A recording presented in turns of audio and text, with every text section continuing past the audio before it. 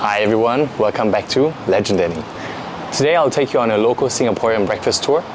We'll be covering three different dishes which are kaya butter toast, mee rebus, and uh, tau huay, or in Mandarin would be dou hua, or tau fu fa in Cantonese. My uncle actually once translated it word by word, literally translated would mean tofu flour. so I hope you're hungry and let's go eat. We're now at our first stop for Kaya Butter Toast at Heap Seng Leong. And we've heard that this place is one of the best in Singapore. Of course, it's not one of those Toast Box or Ya Kun kind of chain places, but that's why it makes it more local and more tasty, hopefully. Let's try it out.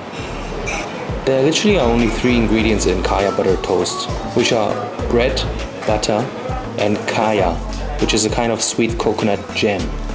The special thing here is that they are using real charcoal to grill the toast to give it a charred flavor. Yep, that one's clearly burnt. Wow.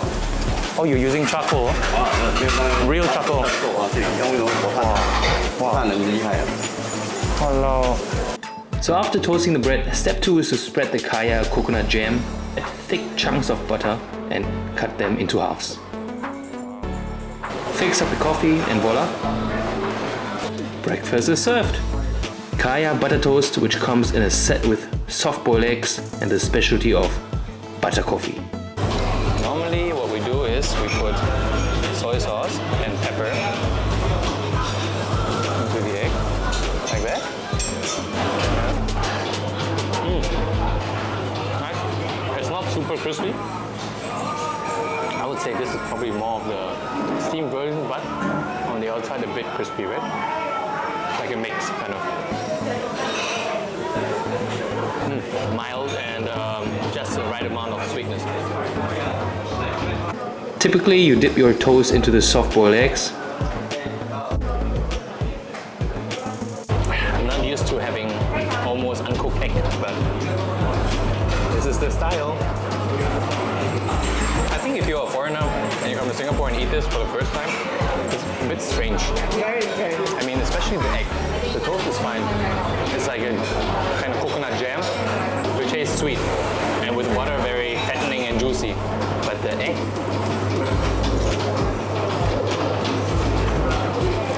even now, after trying it too many times, sometimes when the egg is not boiled enough, it's The taste, right?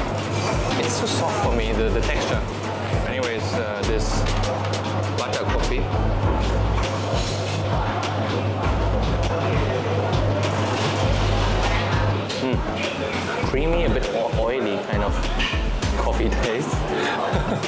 It's just, isn't it like kind of milk cream? Just a bit of different texture. Mmm.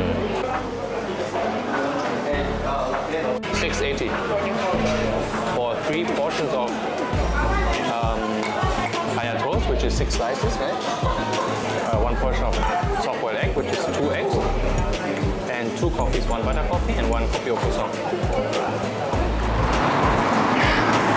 We just finished our kaya toast session, and we're heading to the second stop now, which is mee rebus. The place that we are going to is called uh, Afandi. And yeah, we are not really that hungry anymore. But for you guys, I'm gonna try more local breakfast food so that we can see what's good here, what you must try when you're here in Singapore.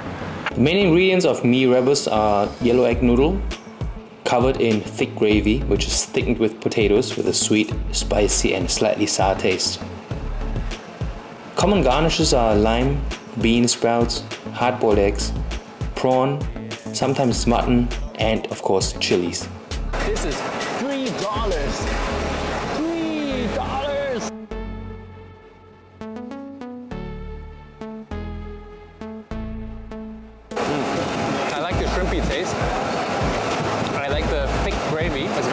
very flavorful. Shrimpy, peanut. And like some, some herbs like lemongrass and galangal, turmeric. Wow. They have cut little pieces of beef in here. Very juicy, tender, and fatty. How do you like this, mee rebus? sweet actually. The gravy is very sweet, I think. Make sure to squeeze the lime, mix it into the mee more of a sour taste, it will taste perfect. Now I will try a bite with the green chili. It's got a good kick to it. Have you tried? Yeah. Let's see. I don't know if it's auto focusing, but this is the green chili that they put all over the noodles.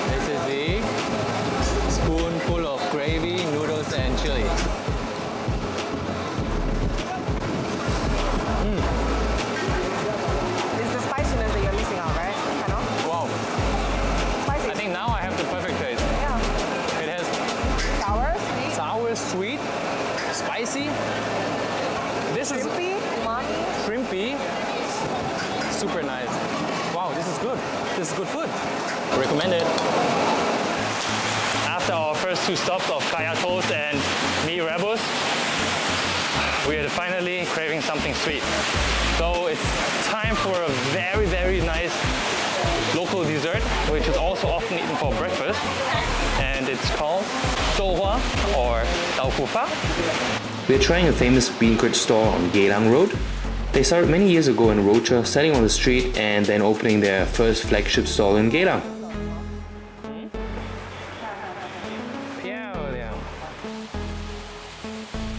So this is the Tau Huay Douhua, which tastes like a super fresh, soft and silky kind of soybean pudding. It consists of only a few ingredients, which are mainly soybean, water, kind of a gelatin to help it congeal.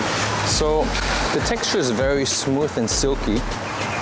And when you bite into it, it's really nice, juicy and sweet kind of soy flavor. So one of the items you ordered is the fried dough fritters. It's called ya zhao guai or you tiao. And this is hot soybean milk. And what we can do, or what a lot of people do is to dip the youtiao into the soybean milk and it's supposed to be very delicious. Let's try. First, we try the soybean milk. Mm, Not too sweet. It is sweet, but um, I think that's how it's supposed to be. This is the Asian version of churros.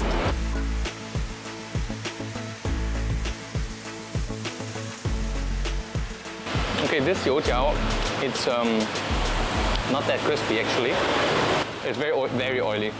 Literally, this is dough fried in oil. Wow, the bean taste is really strong. I would have expected the dough fritters to be a lot more crispier, and actually they are quite soft and um, let's say uh, soft, bit of a bit dry without the soybean milk, and not very airy. If you want to come here and want to try the dough fritters, definitely get a hot soybean milk with it and dip it in, and together it's a great combination. Another dish that they have is the egg tart. It's really flaky and it looks really firm. So, let's try and dig in.